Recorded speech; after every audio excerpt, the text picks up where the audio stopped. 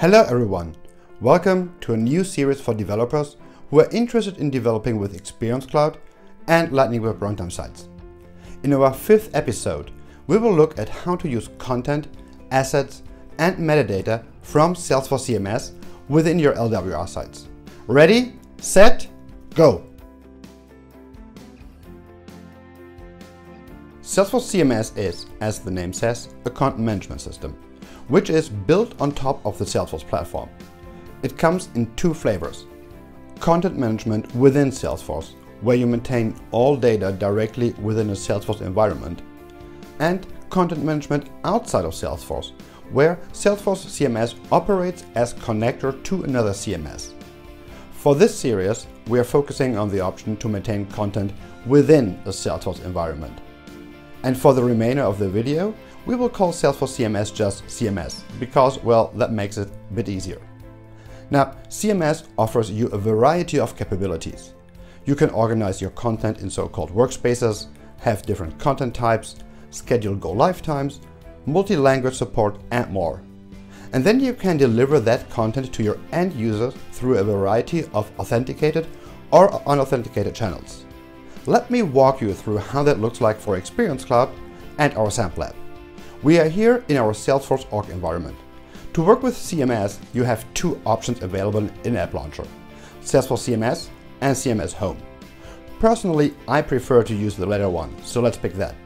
Because CMS has been really built with Experience Cloud in mind, you get an overview of the available sites, like from our sample app.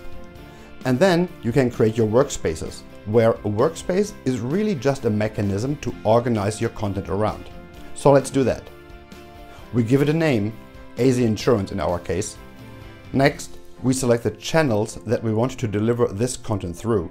And a channel itself is a mechanism to manage access control to your content. It's visible when we click on Create Channel. And on a per channel basis, you define if the content can be publicly accessible to unauthenticated users or if it's for users behind a login. Additionally, you can also specify if you want to serve this channel via B2C Commerce Page Designer. We won't go in depth here. Find in the description of this video links to some blog posts that walk you through the different use cases and how to, for example, access Salesforce CMS content from Marketing Cloud. So once we select the channels, we can specify who of our internal users can use this workspace and also can administrate it. And next, we specify the available languages, the default language, and that's it. We created our first workspace. Ours is now pretty empty at the moment, so let's change that. There are two options on how you can populate a workspace. Either via adding content manually using the add content action, or via an import action. As we have plenty of content prepared, we will use the latter one and upload our content. There are two types of content, image assets and related text content, so we have to run two imports. It is a really straightforward process and takes for our data only a minute or so. Now in case you wonder why we are doing this all through a user interface and not an API, this is because there is no API for this, which means creating and maintaining CMS always needs interaction through an org. That includes creating and or uploading content, as there's also currently no API for this. As our content is now imported, we can maintain it. For example, let's filter for carousel images and select the first entry. This is the content that is displayed on the homepage of the marketing site within our carousel component. I want to highlight here the different metadata that you see, like the button label, custom image, and so on. This is available because we defined the custom content type carousel image based on our business needs. It is important to know that you can't create custom content types through the built-in user interface. If you want to have your own types, there are two options. The first one, if you prefer a user interface, is to use the CMS Content Type Manager app from the Salesforce AppExchange. The link to that one is posted in the description below.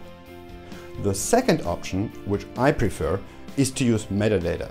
Content types are stored in a Salesforce environment using the Manage Content Type metadata type.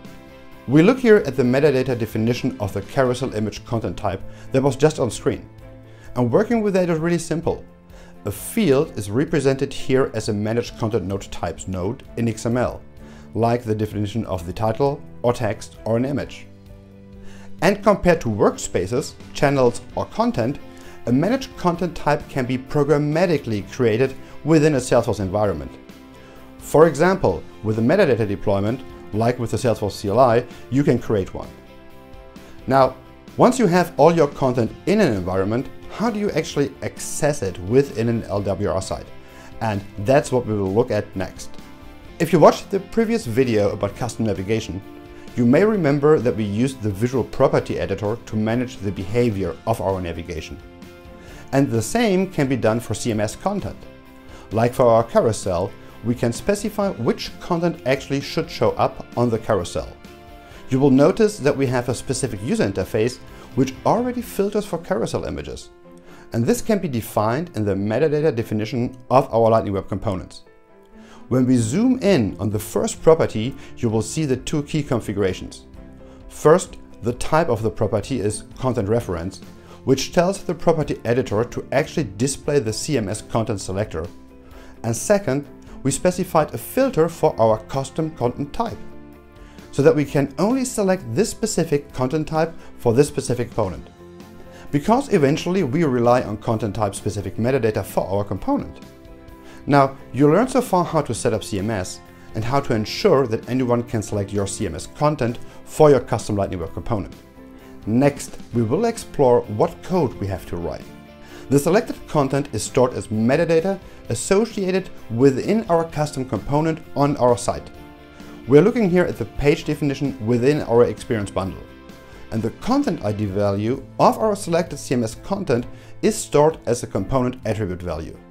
Note that these values are preserved in your experience bundle. So when you change a component attribute in general and then retrieve that metadata to your local project, it will be stored in source format. That may cause challenges when you don't have the same CMS content imported in the environment where you deploy your site to. We can now use the configured content ID value to retrieve the metadata and data of our CMS content. For that, we use within our sample app a single Apex method getContent. In this iteration of the sample app, we designed that Apex method to take in a couple of parameters like the content ID, language, or filter by content type. What is really neat is that you can access CMS via Apex using the Connect API. We provide the Managed Content class, which has different methods to query CMS. And in our sample app, we use the method to query by content key. This method gives us in return a managed content version collection of all content nodes based on our selection criteria. The full documentation of the managed content class is linked below in the description, and there you will also find the other methods to query all content by channel, by ID, and so forth.